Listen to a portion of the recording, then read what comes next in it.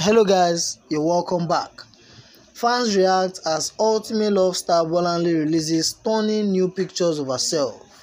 Bolanle was a former housemate at the just concluded reality show called Ultimate Love. She was paired to Arnold and were known as Bolar during and after the show. Bolanle and her partner were finalists in the just concluded show and are believed to have found true love as they keep flaunting their love for fans to admire.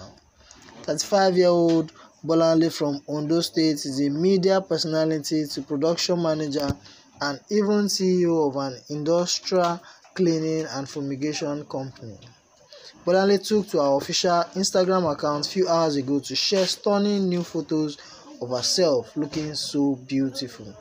Captioning the picture, she wrote, The most beautiful accessory I wear is my brown skin. Fans reacted in numbers to her flawless pictures concurring to the fact that she truly has brown skin and some admire her beauty, her beauty calling her Queen Bee. Bolanle is really beautiful, no wonder Arnold is so into her now much more than when they were in the love pod. Recall Arnold recently wrote a heartfelt letter to Bolanle professing his undying love for her. What are your thoughts guys? Do you think Bolanle is really beautiful. Let me know your thoughts in the comment section below. If you're new, don't forget to subscribe and also hit on the bell icon to get new notification when a story drops.